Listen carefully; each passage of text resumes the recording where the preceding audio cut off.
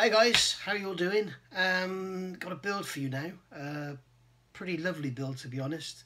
Uh, there are a few few swear-inducing moments with the build, but um, I'll cover those as I go through it. It's not a weekend build. It's a fairly lengthy build. It's um, it's taken me four days, pretty much not working on anything else, and uh, yeah, it's um, it's it's it's very very nice. Um, it's basically 16, 16 steps. Uh, I've done this in fifth, well, including this one, there's 16 video shots. Um, so I'll take you through the build now. There's no painting involved. This is just literally the build from start to finish. So there's no part one, part two, part three. At the end of this video, you will see this model finished other than paint. And there's some cabling that has to be added that I'm going to leave till after it's painted, the cable that lifts the um, uprights. So uh, sit back, enjoy it, get yourself some popcorn or a cup of Coke or a can of beer or something and uh, enjoy. Um, and if you like what you see, please don't forget to hit that subscribe button down there and the notifications bell. And um, yeah, and I also want to say thank you to all you guys this year alone, what is it now? January the 20th, 2019. And this year, my subscriber count has doubled on over, it's over 880 at the moment. So, you know, maybe it'll be a thousand before the end of January. That would be wonderful. Okay, guys. So thanks very much for all your, uh, all your interest and comments and everything. But anyway, let's get on with this build. Hope you enjoy it. Right. So uh, here we go then. This is, um, this is part one or stage one, should I say and this is the Fries, as I said, 16 ton Strabo crane, which is road gantry crane. Road gantry crane. So um, I'll do this page by page and then put a little snippet of the video as, as I go by page by page. And the objective is to get it all done in one video. So um, I've gone straight to section 4, which I shouldn't have done. I should have gone to section 1, because that's where we start, isn't it? Right, section one. Um, so here we've got the the two main. These are the two main gantries across the top. This is this part here, um, and yeah, a couple of issues with them. Um, that's the bottom one. This is the this is the the top one here. Uh, you've got these pieces that glue onto here. That's D3 and D2, as you can see um, and the you can see it goes in on pins at the back and unfortunately a bit, bit of a faux pas from Takom really. Uh, this is the inside face of that beam. And um, what they've done they've got ejector pin marks all over the back face. So this is the face that you see from outside. So um, you can probably pick out there where I've actually cleaned some and gone over with glue and stuff. Uh, I mean it's going to be slightly weathered and, and streaked and rusty anyway so I haven't gone to town and you know been too fussy with removing them. But um, you can see it's all covered in dust as well. Um, but yeah unfortunately did that. They could have put the injector pin marks on this side and then it wouldn't have been so much a problem. And also on the inside of this face is is covered in ejector pin marks as well. You probably see the witnesses of them there when I've sanded them off. But um, as I say it's the inside face. I'm not really overly bothered with it. And you've got these tiny little pieces that go on the bottom. And then this one here same sort of thing. Still got the same ejector pin marks on the outside face. Um, difference here we've got these lugs which go on and if you can see end on it's a little bit confusing on the instructions. The back face of these is angled. It does actually go like that. You can see that here when you look at the back of the instructions. There's an end on plan and you can see that those those lugs are actually tapered in. They, they don't need to be straight uh, so so that's um, that's that side. Then you've got these bits that go on the back that produce the um, the I beams so there's there's nine of those on each of them. So they give you the uh, the I beam section down the back as you can see there. Um, so that's those bits. And then you're adding these few bits of um, gear and stuff. There's a wheel there that must turn. You can see there. Um, and you've got these blocks here some massive um, sprue gates on these absolutely huge quite hard plastic so when you cut them off be more careful than I was you can see I've left evidence of a sprue gate there um, so yeah focus Uh, so yeah, be a little bit careful what you need to do. There's some here, what I did was cut further away from the plastic and then sanded it back. And that was even with my Tamiya nippers. Maybe they're getting a bit blunt, I don't know. Uh, so there's that bit done. Um, and then coming down here, we've got this, this lower section of section two. This little gear assembly here is a bit strange. Um, you've got this shaft which goes into this gear here. There's like a counter bore in there and then you glue this into a hole through so you're gluing that to that through that gear which is a bit weird and of course you need to make sure it all stays running true so um, what I did I, I, I put this up in a pin chuck on the end and then I was able to twist it and turn it and make sure that everything was all running nice and true um, these aren't slide molded they're normal molded parts so there's quite a bit of cleanup with seams and stuff on them to make sure the pulleys are actually pulleys and they haven't got a great flange in the middle of them. Then you've got this part here which is called B. Um, you've got this part in the middle of the, the wire is going to go around and you've got this spiral here which the, um, which the cable goes around. Um, obviously I won't make too much fuss of that seam because it's going to be covered in cable. Um, here there's a couple of ejector pin marks but luckily they're on the inside face so they're not going to get seen.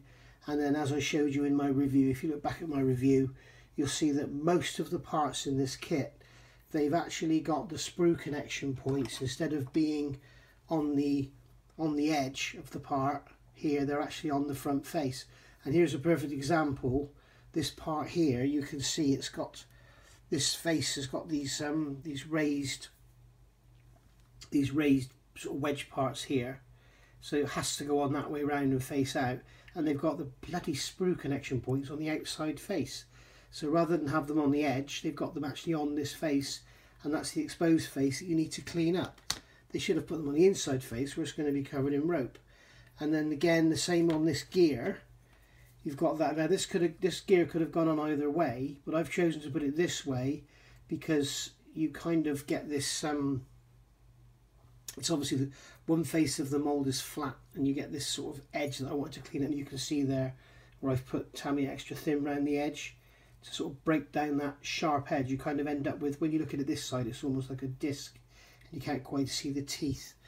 Um, so uh, so there there's um, that's page we'll call it page one that's the first page and then now what I'm going to do is get on and do all this bit and get these beams together so once I finish this page I'll come back and show you where we are Right, I'm just going to jump in here with um, with some advice before um, bef before we get any more done on this. Um, I'm not an expert by any any stretch of the imagination. I'm just a, an old guy with a lot of experience, and I'm an engineer, I suppose. So I sort of see how things go together. But um, I want to offer a little bit of advice to anybody who hasn't built this kit um, on really probably the best way to go about it. As you can see here, we've got this part here, E44 which is a be close to the camera oops flashing lights uh, we've got E44 here which um, is a gear that has to be pinched between this block here and the side so it's basically going in there. So that's going to be floating. And you've also got this little gear here E45 which is being pinched between this bracket E30 and the uh, and the sidewall here. So I looked at this and thought about, well, probably the best way to go about it is to glue that bracket onto there, then offer that up, pinch that gear in between, glue that to this side, let that go off. And then this one here, offer this one up to the, this part here up to the side, pinch that gear in between, put some glue down there, let that go off, make sure it's all square and everything. And um, that's what I've done. So just to shoot actually prove that it works, here's the this is this is the front part here. As we're looking at these instructions this is the front. So you can see that what I've done is um is put that in with that gear in there in between. You can see that gear in in there that's free to turn making sure this is all square and everything and then on the other end we've got like this one here it's that way round in the instructions and you can see that we've got that gear pinched in there pinched between the two.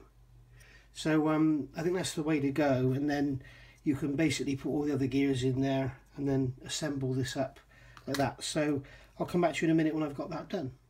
Right, so that's that that section done now. Um, it's quite uh, it's quite flimsy, quite flexible. Uh, what I can tell you is, um, in, in, after my experience of building it, you can actually glue the ends together and just glue these literally the the um, the four sides to the ends. Don't add these bottom pieces yet. Once they're in and sort of gone off, then you can sort of lever it apart and get these these pulleys in that you need to get in and then um, and then put it all together and glue these these bottom pieces on here that will keep everything all square and then what I did was just put it on the bench with a bit of weight on top and let it go off with it to, to, to make, get it nice and square and flat. Um, these gears go, these wheels all turn, um, but you have got engagement in here.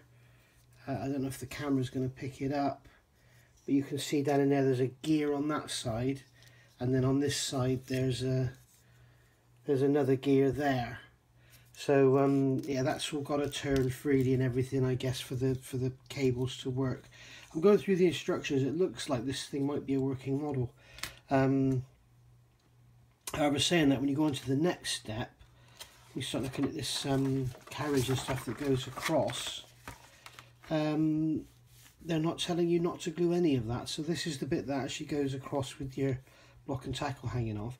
And they're not saying to not glue any of it. So you've got all these working pulleys and gears and everything all turning but then what actually attaches to them doesn't turn. So I, I, I, don't know.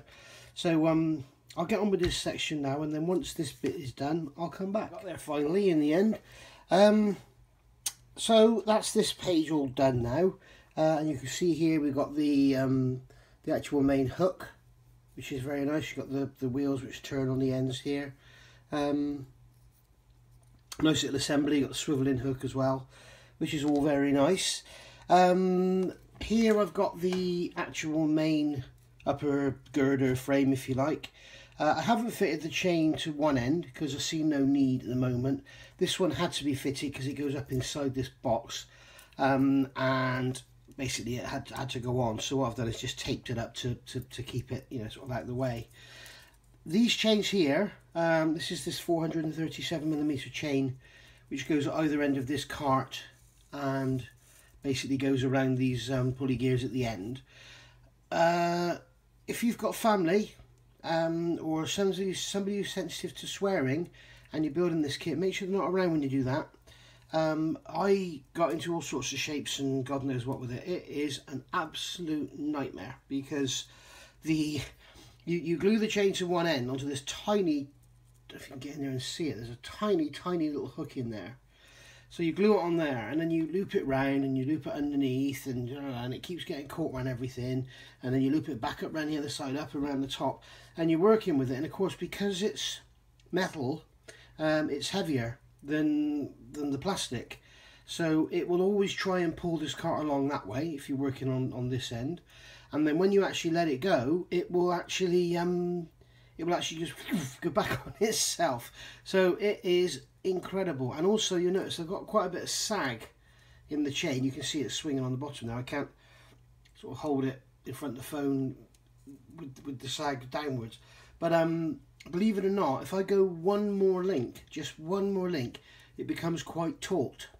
And I'm kind of aware of two things. The chain wouldn't have been that taut in real life and also if it's too taut it's going to break off these these tiny little hooks that it's um that it's fixed to because there's nothing else holding it on there. So um I've gone for that so it's got a bit of sag. Um it's not something I'm going to be playing with anyway. But um yeah but I just kept it moving. It'd be it'd be make it a lot easier to paint. That's that's the main thing. And also I can kind of lift this up and paint under the wheels and stuff. So uh yeah, one thing I am worried about, or not worried about really, is concerned about is how I'm going to paint these chains.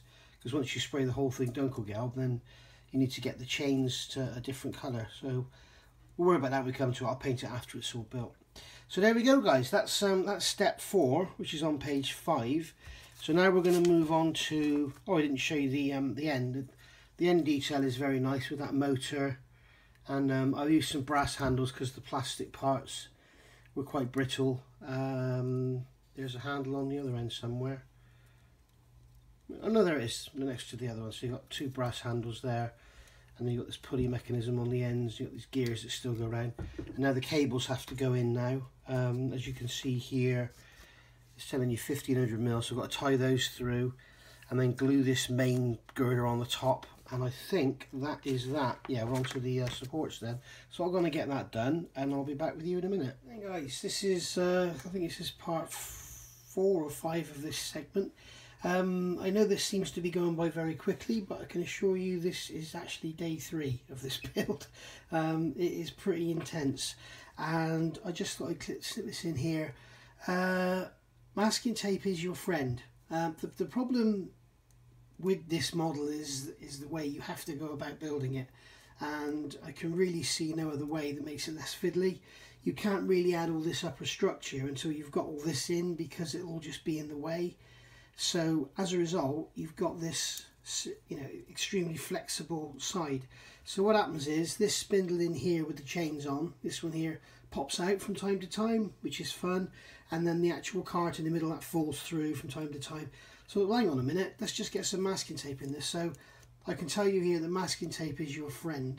Um, you can see I've also got the rope on now, or the cable on the on the main spool. What I did with this, um, something I've never tried before, uh, thought I'd give it a go. I have a bottle of Winsor & Newton Indian ink. Here it is here. And I left that in for about half an hour to soak.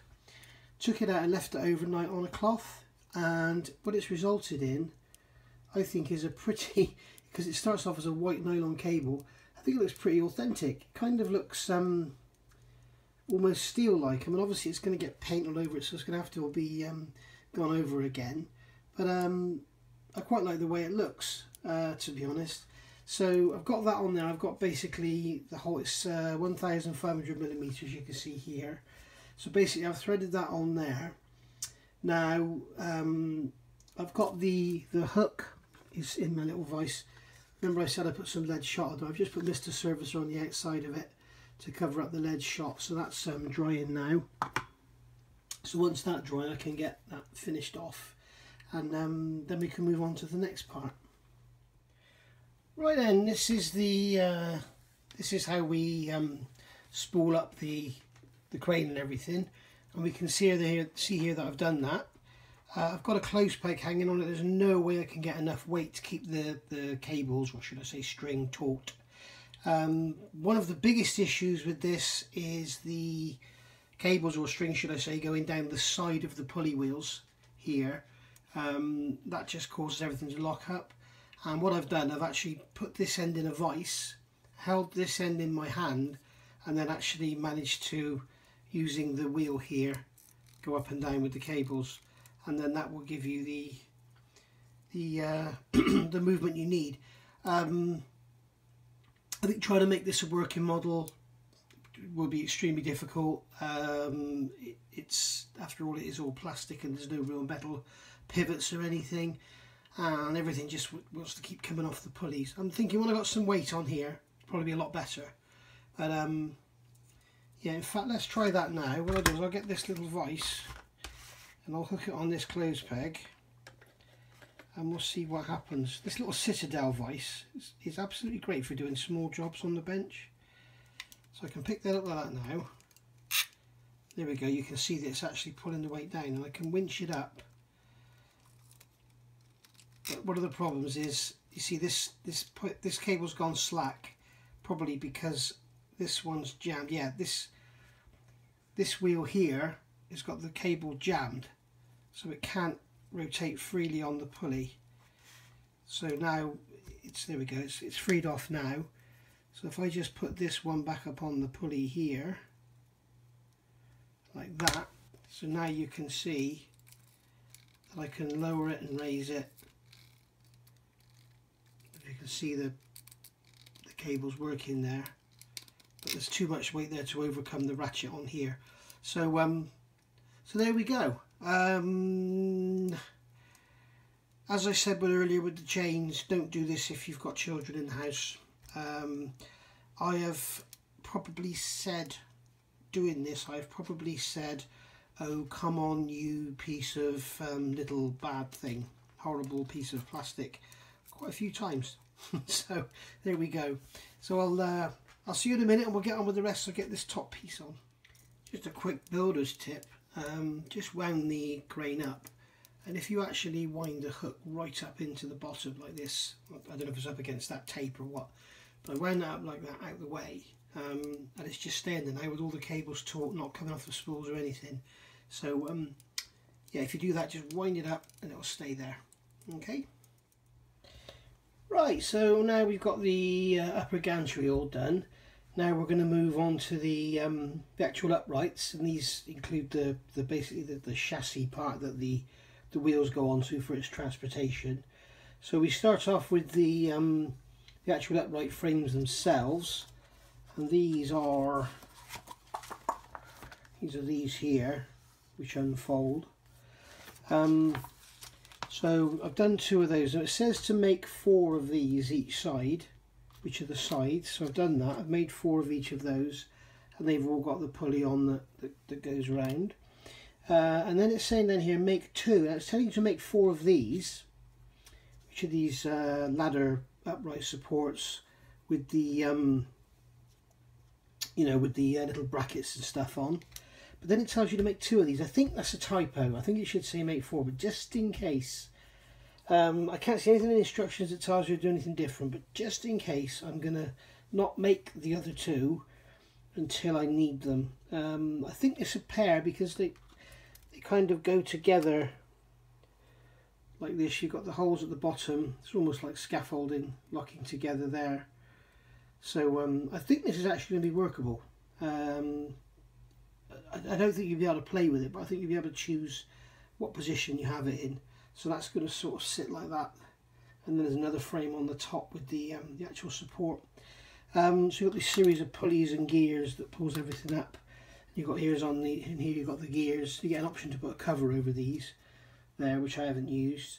So there's those gears there, and they do, um, the trouble is, the, the they do turn but the problem the problem with it is it's the you've got to overcome the friction and there's a lot of friction on the shafts and the gears and and because it's all plastic you sort of I'm worried I'm going to snap something. So um they're going to have to sort of be I don't know. They, they do turn. They, they do actually move.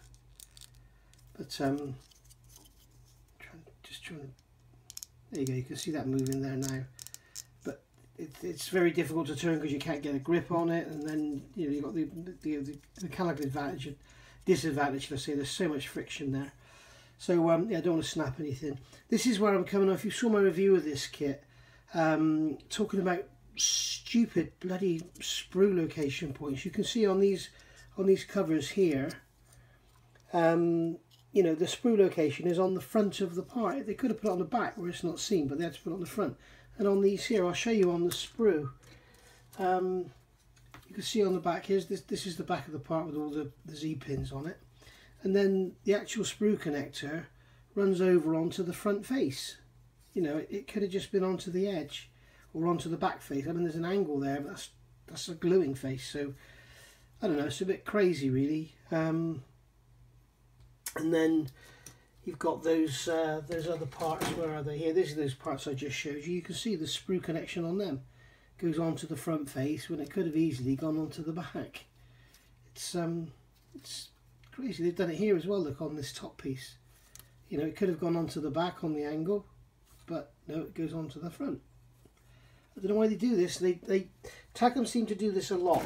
Um, obviously one of their, their designers is looking at things ass backwards and just for an extra bit of weight on the hook. I've drilled it out roughly and put some lead shot in there. Um, one of the biggest problems with stuff like this or cargo trucks and stuff is getting the the hook to hang down like it's got any weight in it. Generally you probably know what I mean. The strings all you know wrinkled it doesn't go straight down. So I'm going to give that a go. Um, if that's not enough weight I'm going to have to consider I think boring down through the top adding some weight in there. Um, but basically I want this to stand without any you know without anything hanging on it I want it to be straight so uh, yeah it'd be interesting to see how that goes um, so I can't really do much more at the moment because I'm waiting for Mr. Surfacer to dry the, the seam there the sprue connector points all along here So um, on these two. So I've got to wait for them to dry before I can rub them down and get rid of that seam. And then they actually go in the bottom of there and that's where the axle goes. So obviously it's like that for, I assume it's like that for towing and like that when it's actually in use. So um, yeah, so there we go. So I'll get this section finished off and then we're looking at actually assembling it all together and adding on the uh, the upper support piece and this is the axle down here. So as I say, I'm sure that's just a typo. I could go on and make four, but um, let's, let's just not jump the gun. Right, so there we go. That's them all done. I did decide to go on and build these four. Um, they're quite a nice little assembly, really. Uh, they go together. This is the, the pivot, and then they, as I showed you in the last video, they they in the last snippet, they actually um, go together to make um, to make two halves. There we go, or, or one one pair and then something else will go on here to, to interlock them together. So that's uh, them done. They've got the little pulley wheels on them going round. So I've done those four. These are done here uh, with the swivels on the bottom. I didn't bother putting this piece on the inside. That way you could just, it's quite a tight fit anyway, but it comes apart easily for painting. Um, then as I say, you, you do need on these parts here there's a pretty nasty seam down the middle so that needs some filling as you can see um, and then also around the edges here I thought I'd put some filler with Mr. Surfacer in there just to just to clean up the gaps. I've also had somebody commenting last night well today is um, what is it today? It's uh, Saturday. Saturday the 19th um, of January. So uh, yeah somebody was commenting about in my uh, review of this kit you know about the surface mounted sprue nibs and everything. And um, I think basically insinuating I don't know what I'm talking about it sounds like. But uh, this is what I'm talking about okay um, this guy was commenting about how it's a great idea that it's on the surface on the uh, join not on the surface. Well that's what I'm talking about. The actual sprue nib is on the surface of that part there as you can see when it could easily have been on the back. Alright and also on the front face of all this these parts here, these main parts here, on the front face of all of them, where it could easily have been on the back. Alright, so that's what I'm talking about, and that's where I think Takom have got it wrong. Alright, so there we go. Um, so that's that section done, so now we can move on. We're racing through this. Um, once you say racing through this, this is like day three. Um, yeah so there we go now we can move on and get all this together and get these supports made and these are the axles with the what looks like the brake mechanism on them right step seven um, quite a lot going on here really. Step six this is kind of this one kind of halts you a bit. There's a lot of work in that. Um, and then you get onto all this and this assembling these little wheels onto these feet here. As you can see there they, they, they're free to turn. These little feet don't fit that well so you know you need a bit of Mr. Surfacer on there. And then these joints here between these two halves of these parts aren't that good so you need a bit of Mr. Surfacer in there. So it kind of halts you a bit. Um, and here we go. This is the this is the upright here with the uh, with the uprights in the vertical position. And you can see there's these little two pins here A28 I haven't taken those off the sprue but they'll they'll go in there and sort of lock that together. I haven't taken them off the sprue because um, you've got to move it all around to get the rope in and everything or the cable should I say and then this one here um, I've left all floppy for you so you can see that's it that's it in its folded state um, and then that goes up like so. Those pins go in together like that like scaffolding. That's it and that's that one in the vertical as well. And then these sit somewhere up on top. So you see it's quite a quite a tall um, what's that there? That's uh, that's 20 it's over 20 centimeters. So um, yeah it's pretty tall and it's still not finished yet. You've got the wheels and everything to go on yet. So uh, so there it is. That's that's that stage there. Um, oh the axles. Here are the axles. Here we go, there's those built up. Um, quite fiddly, best to build them and keep them out of the way because the you've got the brake actuators there and they'll just get snapped off as soon as you as soon as look at them. Um, I actually be careful when you cut these off the sprue. I actually cut one of these off and thought that the the rod there was actually part of the sprue connector, so I had to repair that one. So uh, yeah, stupid me, schoolboy error. But um, there we go. So that's that step done. Now if we turn over the page, we're getting near the end now. Uh, we've got to fit this all together now like this. We've got to look at the options now. I haven't made, my mind up yet whether I want this up or in the folded state. I should probably have it up. If you have to have to choose one option now with it up in the air, I'll do that. But if I have the ability to be able to collapse it, then I will just to show you show you what it's like in both um, in both guises. So I'll get this stage done now, and then hopefully come back with this later on. It's um it's Saturday today, 19th of January 2019. I was hoping to get this finished today, but I don't think I'm going to. Um, there's, there's still quite a lot of work to do. Um, this this is a very very intense build. There's there's a lot of um, uh, quite large sprue gates. You, you've heard me moan enough about the sprue gates on the faces, which are just a joke.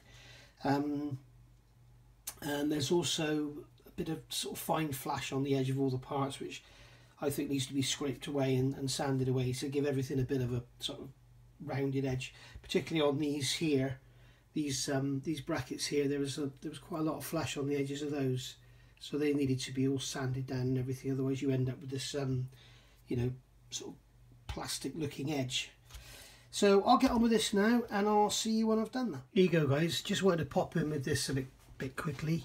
Um, as I showed you just now, we're, we're building this, putting it all together um, and adding the cables and you've got the option of having it in the down position, like this one, or in the up position, like this one.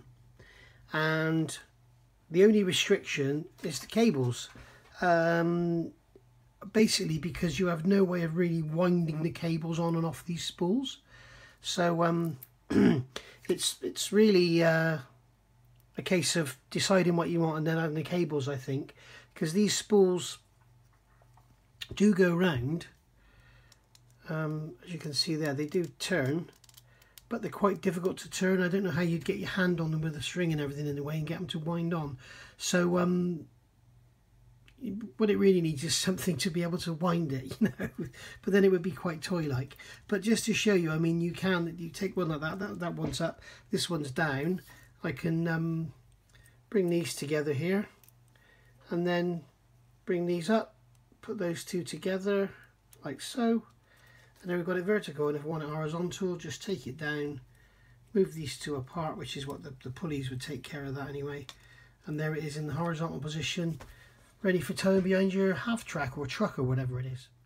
Okay, right. Um, got the wheels done and everything now. So, um, and then put the wheels and tyres and everything onto the axles there. So that's all done. And then when we turn over the page, we get to uh, we make up these um, stands and everything for supporting it while it's actually in use. And then you also get the option here to, to, to use these pieces and I think this is some sort of I don't know if we're going on rails or something I don't know.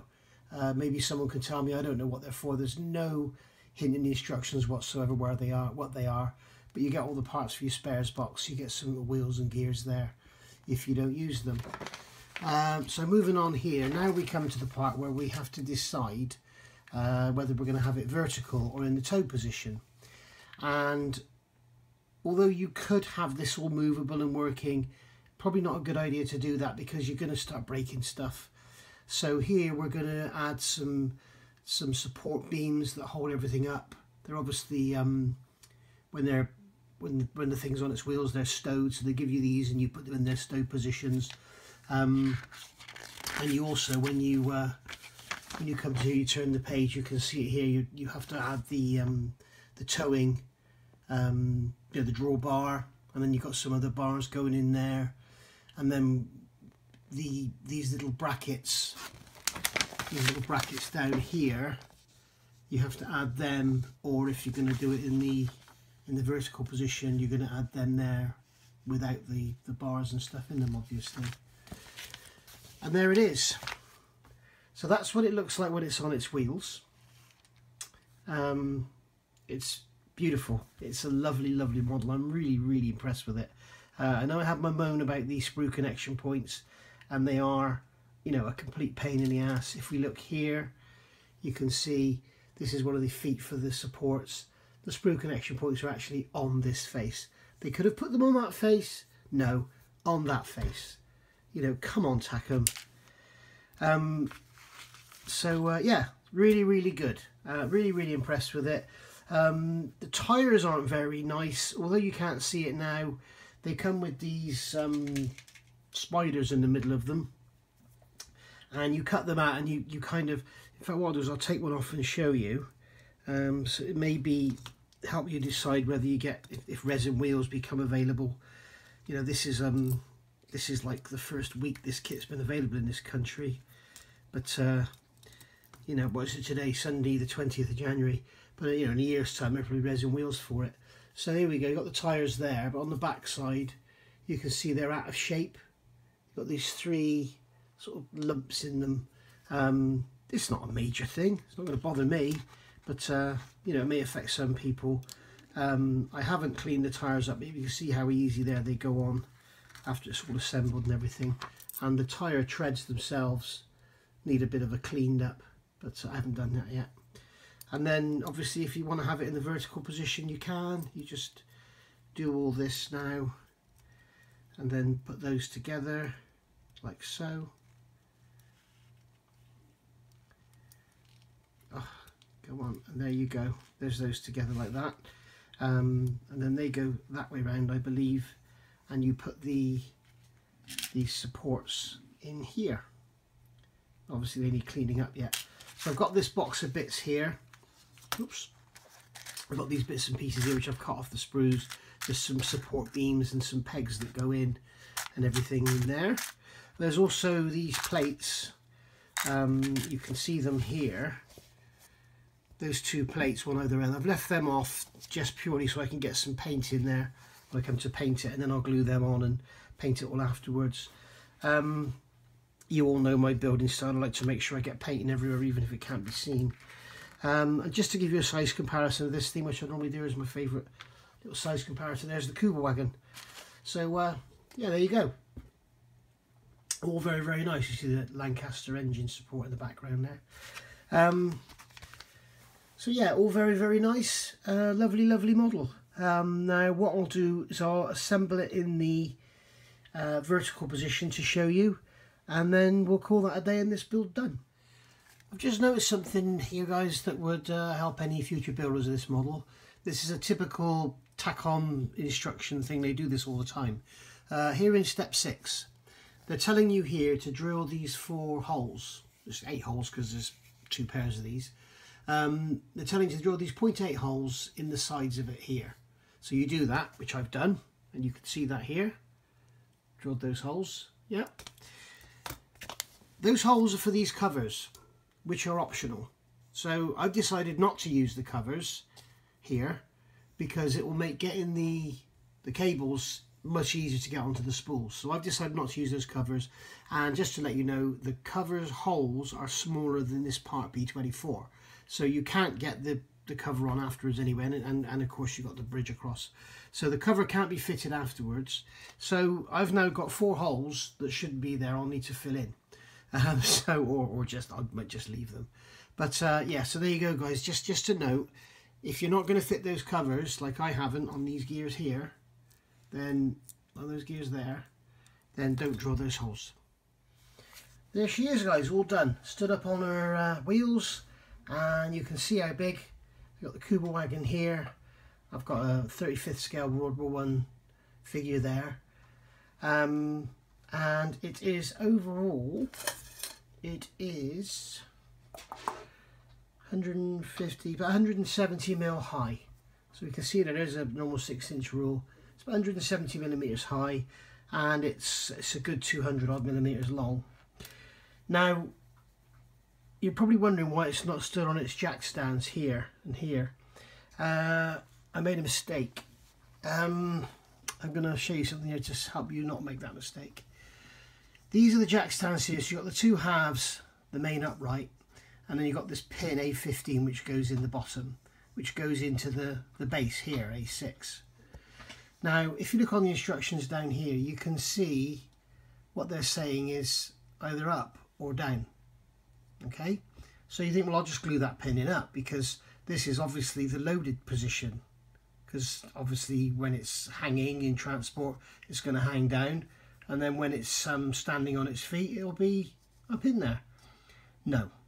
If it's up in there, when they're down at their lowest point, the tyres are still on the ground. They don't actually touch the ground with um, with them up in there. So if you've got that pad, down and be careful not to hit the, the camera stand.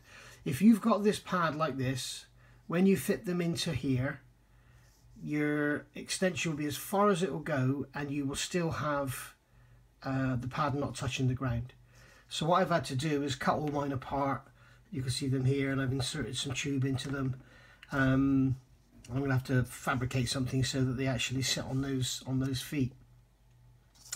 So that's uh, something else to look out for.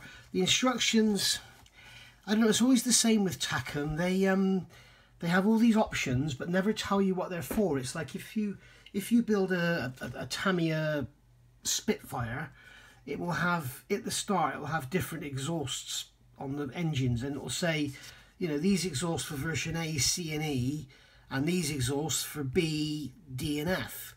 Um, Takom just do things like this. They just have either have those or either have those. They don't even tell you what these are for. It doesn't show them in use anywhere. It doesn't even show them assembled.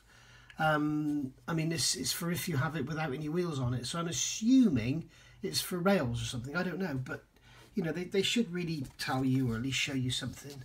Um, so that's it pretty much done. Um, other than these, we've got these beams which go in here now that go crisscross to protect the uh, to protect the um, sorry to keep it I just knocked something on the floor my dog was gonna grab it um, right so yeah the, these beams go in to protect the uh, to protect the keep the the thing vertical you can see one fitted in here so I haven't fitted them, obviously, because I want to break it all down for painting. Um, and then we've also got the we've got the the A-frame there for towing, which I'm not going to fit if I'm having it in this position. And you can see here that the way it goes in is these pieces go up underneath. So, and this is how this is how you have it in the upright position. So if you have those pieces in there now, then you can't actually fit that A-frame unless you do some work with pins and stuff. So I think the thing to do is have the A-frame sat on the side if you're going to put it in the diorama. Um, and then these obviously aren't fitted if you use it in this position. So, and there we go. You can see how I showed you earlier with the uh, with it sat on its on its trolleys there, and then you got it here with it vertical. Okay, and that is pretty much that. And then you've also got this frame here that you get with it for putting onto the Panther turret. So you can actually lift lift the Panther turret as it's showing you there. Um, I guess you could also build this up and put lead in it to make those those cables pull down vertically. And just to finish up here it is now. I've put together the um, the towing A-frame. So you've got an air tank half on there and a piece of plastic goes in there. Um, so that would actually fit on the front there pull it along. Um, I'm actually wondering, I need to look at some reference. Would they have left that on when they actually, um, you know, put this thing up, erected this thing? That may have been left hanging on the side or indeed left vertical or something. I don't know, so I need to look at that. Um, but as I said, you, you can't sort of fit it and then take it off because it's encapsulated unless you took off these pins here and drilled something and made your own brass pins and then you could actually do that. I might do that. I don't know. Um, and I also didn't show you the the frame which you put together for lifting the um, the Panther turret so I've, I've got that on there now. It's not quite enough weight to um, to keep everything taut and I'll show you what I mean. Um, if I wanted to keep the ropes taut then if I put a put some extra weight on there. Well, it's going to fall over, I think, but yeah, up to there, there we go. Um, but yeah, to keep the ropes taut, then you need you know you need a decent amount of weight to keep them hanging rather than just you know being all loose and looking like a piece of string. But as I mentioned earlier, that in the ink, uh, I think it looks really effective. It does look actually like steel cable. So um, yeah, I'm quite impressed with that. But it's really easy to put up. Um, there's one side. There's the other side. Obviously, after it's all painted and everything, you would glue it or stick it down to a diorama base or whatever. But there we go. There it is, guys. So, uh, thanks for watching. I hope you've enjoyed this build. Um, it's been, like I said, it's been a few days. And uh, I've really enjoyed it. It's a fantastic kit. If you like what you've seen here, oh, I've just noticed there's some other pieces I haven't put on. There's these little uh, little parts here to go on either end. These little A23 parts. I wonder why there were so many of them. There it is there. It's those tiny little bits there that have to go on. So there we are. Thanks for watching. Hope you've enjoyed this. If you've liked this, please like, subscribe, hit the notifications bell. Um, thank you to all my subscribers. I'm over 880 now. Um, so basically here we are now, January the 20th, and you guys have practically doubled my subscriber count this year. Well done, and thank you very, very much. And please tell your friends, because once we get to that magic thousand, then I think I start getting paid, don't I? Which would be good. Help me uh, buy some new equipment. I could do some better lighting, to be honest. Anyway, thanks for watching, and I'll see you all again. Bye-bye.